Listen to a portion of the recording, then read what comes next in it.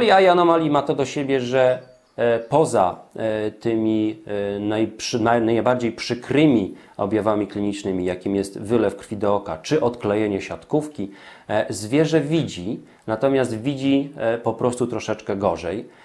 Ale mając na względzie to, że zarówno Niedorozwój naczyniówki, jak i e, niecałkowite zamknięcie szczeliny płodowej może być przyczynkiem do właśnie odklejania się siatkówki. Odklejanie siatkówki stwierdzamy u mniej więcej 30% zainfekowanych zwierząt. E, może e, jak gdyby skłania nas do tego, żebyśmy zwierzęta dotknięte tą chorobą po prostu starali się eliminować z hodowli. Bo całość mojego dzisiejszego jak gdyby tutaj wywodu będzie sprowadzała się do tego przede wszystkim, żeby uświadomić hodowców zwierząt, że nie powinniśmy zwierząt, które są nosicielami tych chorób genetycznych, nie powinniśmy ich e, po prostu rozmnażać. E, nie mówię to, nie myślę tu o eliminacji uśpienie zwierzęcia, natomiast myślę o eliminacji z hodowli. Jest to tak zwany program hodowlany, e, który wszędzie na świecie już jest dosyć szeroko stosowany, na świecie cywilizowanym, natomiast u nas jeszcze te programy hodowlane nie wchodzą, nie są jeszcze specjalnie stosowane ze względu na naprawdę na dosyć niską świadomość hodowców e, dotyczących tychże właśnie, tychże właśnie problemów. Tak wygląda dno oka e, owczarka coli z bardzo charakterystycznymi zmianami coli eye anomaly. Ta część e, siatkówki e, jest po prostu ewidentnie źle zbudowana. E, to jest właśnie, wynika to z niedorozwoju naczyniówki leżącej bezpośrednio pod siatkówką. To jest najbardziej charakterystyczny wygląd oka siatkówki e, z coli eye anomaly. To również jest e, widok oka e, przy e, coli eye anomaly. Ta część, ta część siatkówki również, jak widać, jest z dosyć, dosyć dużymi zmianami naczyniówki leżącymi, e, leżącej pod nią. Ta część dna oka jest prawidłowa, brodawka nerwu wzrokowego też jest prawidłowa. Tutaj również widzimy w dosyć dużym stopniu niedorozwój e, naczyniówki, przez co brodawka nerwu wzrokowego mieszcząca się w tym miejscu gubi mocno swój zarys. Tutaj pojawia się dosyć duże pole mm, nad, nadrefleksy, nadrefleksyjne. Też świadczy o dosyć dużym niedorozwoju naczyniówki. Tutaj e, można przypuszczać, że jest to dno oka zwierzęcia również e, inaczej wypigmentowanego, dlatego że ewidentnie widzimy naczynia siatkówki, a pod nimi dopiero naczynia naczyniówki. Jeśli popatrzymy na tę, na tę część e, siatkówki i na tę część siatkówki, widać naprawdę dosyć dużą różnicę właśnie przede wszystkim w przebiegu naczyń naczyniówki. To również jest e, anomalia oka coli, z tym, że tutaj głównie zwracamy uwagę na kolobomę nerwu wzrokowego. W tym miejscu widoczne jest załamanie się nerwu wzrokowego. Naczynia krwionośne mamy wrażenie, że wychodzą jak gdyby z, z, z jakiejś tutaj szczeliny, z istniejącej szczeliny w brodawce nerwu wzrokowego. To właśnie jest związane z niedorozwojem szczeliny płodowej i z powstaniem kolobomy brodawki nerwu wzrokowego. Ta część siatkówki, jak również popatrzymy, również jest dosyć mocno zmieniona. E, bardzo charakterystycznie dla anomalia oka coli, czyli też właśnie niedorozwój naczyniówki, czyli już jest to oko, gdzie mamy obie wady, o których żeśmy mówili, czyli zarówno niedorozwój naczyniówki, jak również kolobomę brodawki nerwu wzrokowego. Następny przykład e, anomalii oka coli, również część nieprawidłowo zbudowanej naczyniówki, a co za tym idzie również i siatkówki. I w tym miejscu również zauważalna jest niedorozwój brodawki nerwu wzrokowego. E, Też widzimy tutaj wychodzące jak gdyby z głębi, e, ze szczeliny naczynia krwionośne obok brodawki nerwu wzrokowego. Następne zdjęcie anomalia, anomalia coli. Tu widzimy częściowe odklejenie siatkówki. E, Tutaj również zauważalne są niedorozwinięte części, niedorozwinięte części samej e, naczyniówki. Kolejny przykład e, anomalii oka coli. E, Bardzo charakterystyczne w wyglądzie tego oka jest to, że doszło już do całkowitego odklejenia siatkówki. E, Te naczynia, które jesteśmy w stanie w tej chwili zauważyć, są to tylko i wyłącznie naczynia siatkówki. Nie widzimy w ogóle naczyń naczyniówki, czyli tak jak mówię, odklejenie siatkówki już jest tutaj mm, pełne. Następny przykład to również przykład odklejenia siatkówki przy anomalii oka coli.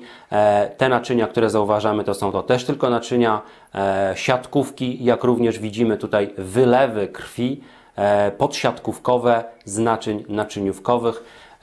Też bardzo charakterystyczny obraz. Przykładów można by tutaj mnożyć jeszcze wiele, natomiast głównie chodzi tutaj o zwrócenie uwagi na to, jak duży jest to problem, jak wiele wariacji anomalia oka coli może, może na dnie oka może być zauważalnych.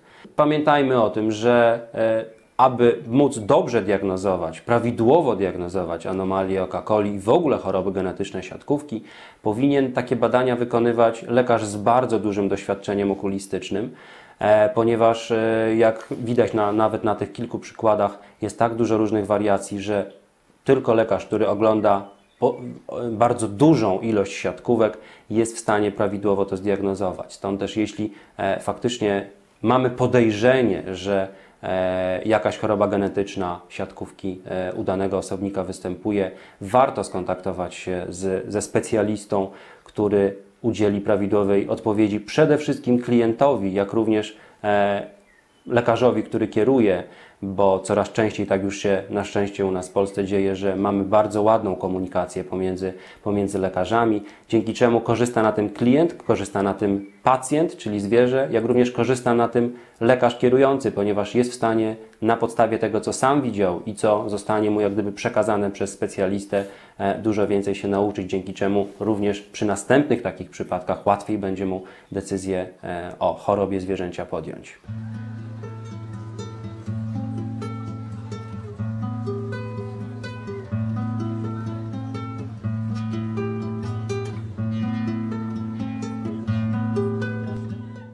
Predysponowane rasy do coli anomalii to e, coli długowłosy, coli krótkowłosy, e, owczarek szetlandzki i border collie. Z tym, że u border collie, proszę pamiętać, jest to choroba występująca niezwykle rzadko, e, mniej więcej 1 do 2% przypadków całości psów chorych na coli anomalii stanowią border collie, ale również należy u nich to oceniać. Oczywiście największą grupę zdecydowanie stanowią coli długowłose, I tak jak powiedziałem, stwierdzono, że do, do 70% populacji może być nosicielami genów e, przenoszących tę chorobę.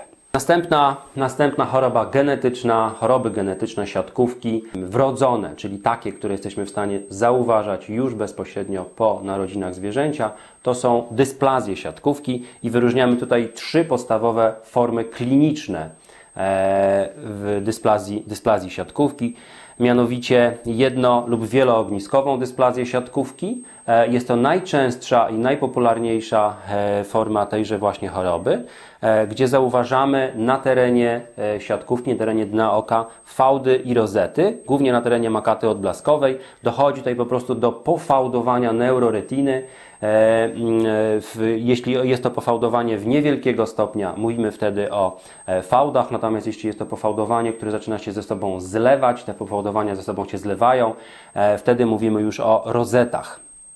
E, druga forma kliniczna e, dysplazji siatkówki, tak zwana geograficzna dysplazja siatkówki, występująca troszeczkę rzadziej. Wtedy zauważamy dosyć nieregularne, najczęściej w kształcie podkowy, pola siatkówki, które mają większy odblask, są bardziej hiperrefleksyjne. Natomiast trzecia forma dysplazji siatkówki występuje najrzadziej e, i związana jest z całkowitym odklejeniem siatkówki, które Pojawia się to odklejenie najczęściej już w wieku 4 do 6 tygodni zwierzęcia, e, czyli zwierzę takie najczęściej, będąc jeszcze u hodowcy, będąc jeszcze w miocie, wykazuje e, objawy ślepoty. To jest przykład najpopularniejszej dysplazji siatkówki, gdzie pojawiają się fałdy na terenie neuroretiny. Są to właśnie te miejsca, czyli ścieńczenia siatkówki e, w formie takich delikatnych uniesień. To następna forma dysplazji siatkówki. Tutaj, jak widzimy, już te rozety fałdy łączą się ze sobą, e, czyli są troszeczkę dłuższe, troszeczkę większe, już zaczynają przechodzić w formę takich rozet o bardzo charakterystycznym kształcie, przyjmują najczęściej właśnie formę litery Y.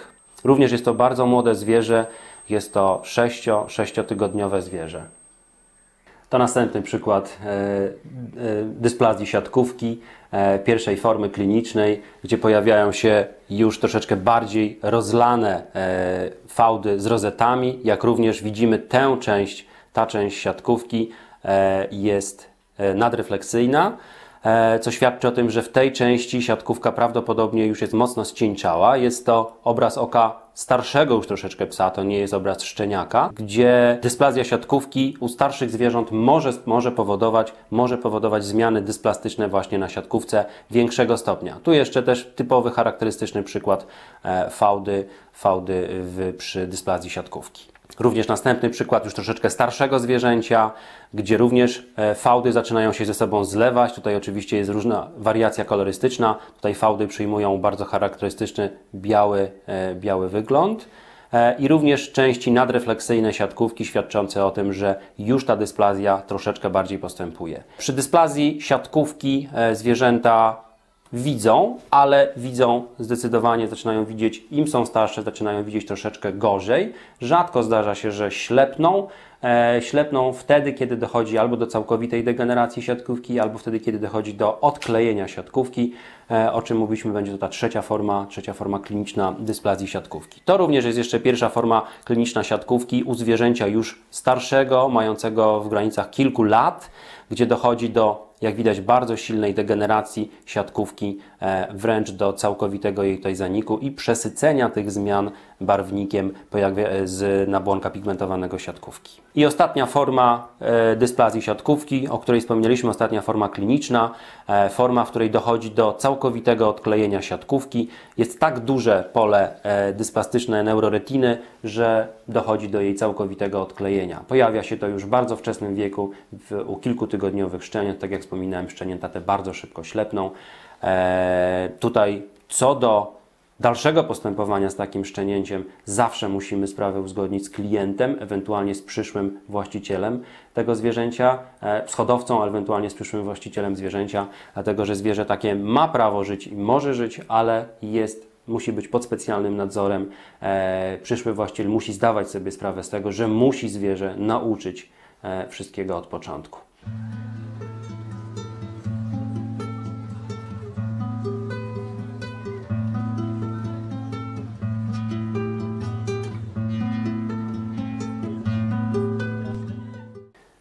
Jeśli chodzi o rasy psów, które są e, jak najbardziej predysponowane do wystąpienia e, dysplazji siatkówki, czyli choroby genetycznej wrodzonej, e, to są wymienione tutaj rasy, czyli Bedlington Terrier, Salem Terrier, Yorkshire Terrier, czyli jak Państwo widzicie, przede wszystkim są to terriery. Jak również Rottweiler, z tym, że u Rottweilera spotykana jest ta zmiana w miarę rzadko. E, Springer Spaniel, Cocker Spaniel e, i dosyć często zauważane są te zmiany u Labradorów i u Bigli. Są to dwie rasy psów, gdzie retina dysplazja, e, dysplazja siatkówki występuje najczęściej. Stąd też program hodowlany, czyli właśnie sprawdzanie siatkówki dna oka, badanie dna oka u tych ras również powinno odbywać się wcześniej, e, w wieku szczenięcym. E, bardzo często jest tak, że większość hodowców uznaje, że sprawdzanie labradorów e, pod kątem chorób genetycznych siatkówki powinno odbywać się dopiero w wieku 1,5-2 lat życia zwierzęcia. O tym będziemy mówić za chwileczkę, ponieważ faktycznie najczęstszą formą genetycznego problemu siatkówki w tej rasie to jest E, postępujący za nich siatkówki, czyli PRA, ale warto również pamiętać o tym, że dosyć często pojawia się ta wczesna forma e, dysplazji siatkówki, e, czyli właśnie RD. W tej chwili przejdziemy do chorób genetycznych siatkówki niewrodzonych, czyli takich, które jesteśmy w stanie zauważyć dopiero w późniejszym wieku zwierzęcia. I tutaj wyróżniamy, tak jak żeśmy już wcześniej powiedzieli, uogólniony postępujący zanik siatkówki i e, dystrofię nabłonka pigmentowanego siatkówki. Jeśli chodzi o uogólniony postępujący zanik siatkówki, e, czyli e, GPRA, wyróżniamy tutaj trzy formy kliniczne tejże właśnie choroby. Pierwsza forma, która zauważana jest u seterów irlandzkich i u koli krótkowłosych, jest to forma, która pojawia się w dosyć młodym wieku, jest jak gdyby, jest to forma, która troszeczkę odbiega tutaj od kanonu podziału, dlatego że e, zauważalne jest to nawet w wieku 8-10 miesięcy życia zwierzęcia i dochodzi do jednoczesnej dysplazji pręcików i czopków, e, gdzie zwierzę zaczyna dosyć szybko w tym wieku, w tym wieku ślepnąć, z tym, że tak jak mówię, zostało to zakwalifikowane do uogólnionego postępującego e, zaniku siatkówki. Druga forma e, zauważana u norweskiego Elkohunda e, jest to dysplazja pręcików, która następnie pociąga za sobą dysplazję czopków. E, tak jak wspomnieliśmy, tych czopków jest u e, zwierząt mięsożernych naprawdę niewiele, ale możemy je wyróżnić. Też jest to forma zauważalna w dosyć młodym wieku e, i jest to dosyć dobrze poznana forma, jeśli chodzi właśnie o na przykład procesy dziedziczenia. E, Na tym przykładzie e, po raz pierwszy były robione e, badania genetyczne przede wszystkim i ten przykład pokazywał, e, jak gdyby dawał e, wytyczne, jak należy badać e, osony genetyczne i następne przykład, następne przypadki tej, albo inaczej, no, trzecią formę tej, tejże właśnie dysplazji.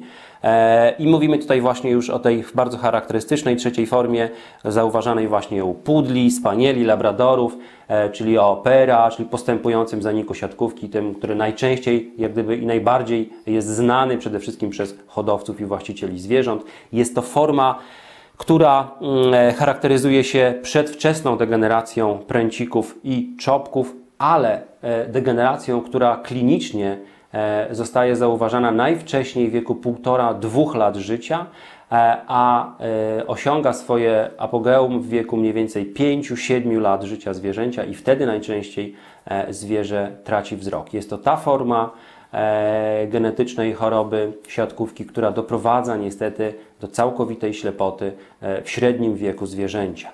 To jest przykład, przykład pierwszej formy PRA, gdzie dochodzi do bardzo mm, wczesnego, do bardzo wczesnej, jednoczesnej dysplazji pręcików i czopków u kilkumiesięcznych zwierząt. Tutaj widzimy e, delikatną właśnie, delikatne zmiany w wybarwieniu i w nastrzykaniu naczyń krwionośnych na terenie siatkówki. To również jest druga forma PRA, o której żeśmy też wspominali u norweskiego Aglohunda, gdzie pojawia się zmiana w, w refleksywności makaty odblaskowej w tych miejscach które są również zaznaczone strzałkami. I przechodzimy już do e, dosyć charakterystycznych i częściej występujących zmian, czyli właśnie postępującego zaniku siatkówki. E, tutaj w formie takiego e, dosyć mocno rozlanej, mocno rozlanej zmiany związanej właśnie z nieodpowiednią refleksywnością siatkówki. Pozostałe struktury, jak na razie widać, e, bez specjalnych zmian, czyli makata odblaskowa, brodawka nerwu wzrokowego i unaczynienie. Następny przykład również bardzo charakterystycznych zmian dla postępującego zaniku siatkówki. Tutaj pojawiająca się dosyć duża nadrefleksywność, czyli dosyć y, mocno odbijające się światło od samej makaty odblaskowej. W momencie, kiedy zanika siatkówka, dochodzi do zaniku samej siatkówki, odbicie od makaty odblaskowej światła jest tak duże, że zaczynamy właśnie zauważać dosyć dużą e, nadrefleksywność. To jest najbardziej charakterystyczna rzecz, którą przy e, postępującym zaniku siatkówki jesteśmy w stanie zauważyć. E, I też należy zwrócić uwagę na to, że bardzo ważne jest to, żeby umieć w odpowiednim momencie rozróżniać, czy odbicie, czy refleks od siatkówki zwierzęcia, które w danym momencie badamy, jest jeszcze refleksem zdrowym, czy jest to już refleks chory. To też wynika, e, musi wynikać po prostu z doświadczenia e, badającego lekarza. Następna forma e, PRA też dosyć silnie pojawiające się w formie takich fałdów, na początku w takich pasm w zasadzie nie fałdów, pojawiające się dosyć silna nadrefleksywność, nadrefleksywność siatkówki. Jak widać, pozostałe struktury nie są specjalnie jeszcze zmienione, czyli brodawka nerwu wzrokowego, unaczynienie siatkówki są jeszcze prawidłowe. I następny przykład, dosyć silne, punktowe zmiany e, dotyczące, dotyczące dysplazji siatkówki. I tu już powolutku zaczynamy zauważać następstwa e, zaniku siatkówki, mianowicie dosyć mocne scieńczenie naczyń krwionośnych siatkówkowych które w formie już mocno zaawansowanej będą ulegały zupełnemu zanikowi, czyli siatkówka e, zupełnie przestanie być odżywiana przez naczynia krwionośne. Następna forma, również widać dosyć mocny odblask, też w formie takich początkowo plackowatych e, zmian nadrefleksywności, które następnie zlewają się ze sobą. Również naczynia krwionośne zaczynają mieć zupełnie inny przebieg. Tu również widać, że naczynia są coraz cieńsze, naczynia siatkówkowe oczywiście. To jest forma e, z kolei PRA u zwierzęcia albinotycznego, o czym żeśmy też wcześniej wspominali, czyli nie ma maskowania naczyń, naczyniówki przez pigment zgromadzony w nabłonku pigmentowym siatkówki. E, tutaj w takiej sytuacji zwracamy oczywiście uwagę na tę część siatkówki, gdzie widać, nadrefleksywność jest znacznie większa, ale również mamy możliwość porównania w tej chwili grubości naczyń krwionośnych siatkówkowych, czyli tych, które są jak gdyby bliżej nas, z naczyniami naczyniówki. Tutaj widać, że te naczynia zaczynają po prostu zanikać. Następna forma PRA. W tych miejscach już mamy dosyć duże zmiany, dosyć duże zmiany yy, nadrefleksywności siatkówki yy, i również widać, że naczynia krwionośne ulegają coraz większemu ścieńczeniu.